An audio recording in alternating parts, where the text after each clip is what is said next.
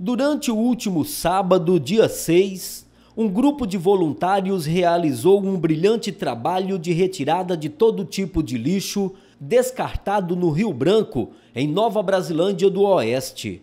O trecho onde ocorreram os trabalhos compreende cerca de 40 quilômetros, se estendendo da linha 17 à FUNAI, alcançando uma área da reserva ambiental. Foram pelo menos 25 voluntários que se dedicaram ao trabalho de limpeza do rio.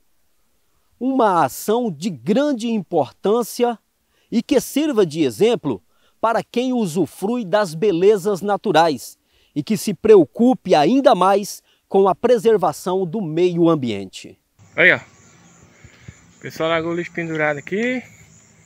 Aqui tem uma, uma chapa jogada. Aqui, ó. Garrafa já catei. O Vinícius tá pegando ali, ó. Saco de carvão. Lixo no chão aqui. Garrafa PET. Aqui, ó.